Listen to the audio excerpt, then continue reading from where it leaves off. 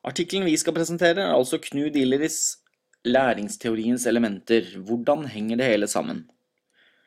Illeris hovedpoeng med denne artikkelen er ganske straightforward, egentlig. Forsøk å gi et helhetlig oppsummerende bilde av utviklingen innenfor læringsteori ut ifra hans egen erfaring, som er lang, og hvis bakgrunn gjør ham til en autoritet på området. Han illustrerer dette gjennom en modell som inneholder fem elementer, og selv om strukturen i artikkelen følger punkt for punkt, så introduserer han disse fem elementene i en modell til å begynne med for å illustrere at de også står i forhold til hverandre. Illeris opererer med en vid definisjon av læring. Enhver prosess der hos levende organismer fører til en varig kapasitetsendring, eh, og som ikke kun skyldes glemsel, biologisk modning eller aldring. Men de fem elementene er altså læringsforståelsens grunnlag, som er de vitens- og forståelsesområder som må ligge til grunn for opparbeidelsen av en dekkende og sammenhengende forståelse. Det dreier seg altså om de psykologiske, biologiske og samfunnsmessige forholdene som enhver form for læring foregår i. Deretter har du læringen. Dette er sentrale elementer som læringsprosesser og dimensjoner, forskjellige læringstyper, læringsbarrierer osv. Deretter indre og ytre betingelser for læring. Og til slutt læringens anvendelse, eller hva læringen brukes til, rett og slett. Da begynner vi på første punkt, som er læringsforståelsens grunnlag. Psykologien har operert som grunnlag for å finne ut hvordan vi lærer, argumenterer Illeris, og trekker frem en eklektisk samling med eksempler. Det spesielle med psykologien ifølge ham er at dette fagfeltet henter sitt grunnlag i andre disipliner, men poengterer at en dekkende forståelse av hvordan vi fungerer må ha et basis i en biologisk forankring samt samfunnsskapte konstruksjoner som de får utløp i. I forhold til det biologiske så trekker han fram at læring ikke er rent fysisk eller motorisk, som han kaller det. Fornuftsmessig læring er en viktig del fordi den er grunnlagt i hvordan hjernene våre fungerer. I forhold til det sosiokulturelle så understreker han at konteksten, eller læringssituasjonen, er svært viktig. Og dette deler han igjen opp i to, et mikroperspektiv og et makroperspektiv. Mikroperspektivet blir da f.eks. en undervisningstime. Makroperspektivet blir den samfunnsmessige rammen rundt, altså det danske samfunn anno 2000-tallet i dette tilfellet. Han sier også at individer eller personer og personlige relasjoner også er en viktig del av denne viksen. Eksempelet han da bruker, er at vi lever i et senmoderne kapitalistisk markedssamfunn, og at fokus på å utvikle individers kompetanse blir viktig, og derfor et fokus på bestemte typer av læring. I elementet læring så konsentrerer Ille seg om tre typer strukturer som spiller en viktig rolle. Den første er læringens prosesser og dimensjoner. For at læring skal finne sted, ifølge Gilleris, må to forskjellige, men samtidig integrerte prosesser finne sted. Samspillet mellom individ og sosiale og materielle omgivelser, og individets interne bearbeidelse av disse impulsene, som blir bearbeidet gjennom samspillet. Her understreker han at det er viktig at det må være en kobling mellom de nye impulsene som et individ tar til seg, og forståelsene som finnes fra før i individet. Resultatet av denne prosessen er individuell, og derfor blir læringsresultatet personlig. Så alle har ikke samme læringsprosess, mener han med det. Denne tilegnelsesprosessen er igjen todelt. En innholdsmessig side, eh, altså læringens innhold, og individets motivasjon for å lære noe. Han beskriver altså disse prosessene og strukturene gjennom en modell som han mener beskriver læringens grunnleggende struktur. Den andre strukturen er læringstyper. Her sier han at i læringsteorien er det utviklet en lang rekke med typologier, eller læringstyper. Kumulativ læring er når man lærer noe grunnleggende nytt, altså noe man ikke har noen allerede utviklede forståelser om fra før.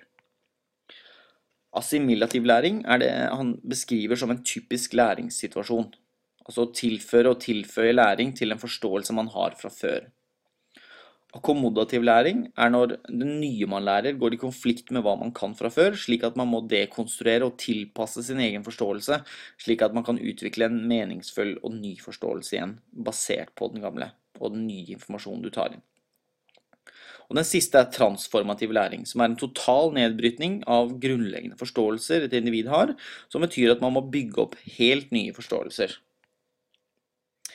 Den siste strukturen innenfor læring er læringsbarrierer. For Illeris så er det tre former for læringsbarrierer. Eh, feillæring, som er når innholdet som læres bort ikke samsvarer med virkeligheten. Og den viktigste, ifølge Illeris, er det han kaller læringsforsvar, som er knyttet til læringens drivkraftdimensjon eller motivasjon. Disse mekanismene er individuelle og varierer fra person til person. Eh, og her trekker han inn det han beskriver som hverdagsbevissthet. Altså en, individuell eh, konstruksjon av virkeligheten som samsvarer med holdninger og meninger vi allerede har fra før, som gjør at vi tar til oss broker av mening fra en uhorvelig strøm med informasjon, og bruker den til å bygge opp vår forståelse, mens vi stenger ute den informasjonen som vi oppfatter som urelevant. Identitetsforsvar er en faktor som påvirker vår hverdagsbevissthet. En reaksjon på forskjellige impulser vi føler samfunnet pusher på oss rundt hvem vi bør være. Og til slutt nevnes ambivalens, altså man vet at man bør kunne noe, men man gidder rett og slett ikke lære seg det. Den siste barrieren er læringsmotstand, som virker inn på læringens samspilldimensjon. Da må dere tenke den trekantede modellen, men den skal vi gå gjennom litt senere. Her skiller Illeris mellom motstand og forsvar. Han oppfatter motstand som en slags konstruktiv skepsis eller kritikk som gjør at et individ kan utvikle en forståelse med grunnlag i motstanden. Og det er altså en veldig eh, sunn måte å, å, drive motstand på, mens forsvar er en ikke sunn måte å gjøre det på. Da beveger vi oss over til læringens indre betingelser.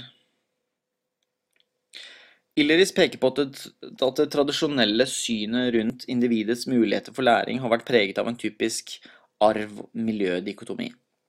Nyere forskning derimot peker på at samspillet mellom de to starter så tidlig og er så komplekst at det sjelden går å skille de to. Illeris emne for dette underpunktet i artikkelen kan heller kalles læringskapasitet, og hvordan et individs indre betingelser påvirker forskjellige læringskapasiteter. Der opererer han med tre kategorier allmennlæringskapasitet, eh, læring og kjønn, og læring og alder. Han gjør det klart at man forskningsmessig befinner seg på litt usikker grunn. På én side har dette spørsmålet tradisjonelt blitt taktet ved å bruke intelligensbegrepet, men selv det er problematisk, sier han. Det beste man kan gjøre når man vurderer allmenn læringskapasitet, mener han, er at vi som individer har forskjellige stiler rundt hvordan vi forstår ting, og at det må tas med i betraktningen. Dette gjelder også i forskjellen mellom kjønnene. Selv om det finnes forskjeller i hvordan hjernen til kvinner og menn er utviklet, så viser ingen forskning at det er en stil som funker for ett kjønn og ikke et annet. Individsmessig så har det ikke så mye å si. Læring og alder derimot er en helt annen bolle med chips. Det sier seg selv at det er grunnleggende forskjeller mellom hvordan unge og eldre lærer. Her peker Illeris på de forskjellige aldersfasene og hvilke faktorer som spiller en rolle i læringskapasitetene. Barn trenger mestring, et trygt miljø å lære i. Ungdommer trenger å føle at de overtar styringen over egen læring, og en videreutvikling av hverdagsbevisstheten nevnt tidligere. Voksenlæring på den annen side handler om å være selektiv og skeptisk, og jo eldre man blir, jo mer selektiv er man. Og Da går vi over til de ytre betingelsene. Å forsøke å kategorisere alle de ytre faktorene som kan påvirke læring, er et monsterprosjekt, noe han innrømmer. Han opererer heller med uttrykket læringsrom. Men generelt så handler dette underpunktet om hvordan menneskers læring og utvikling preges av sosiokulturelle forhold.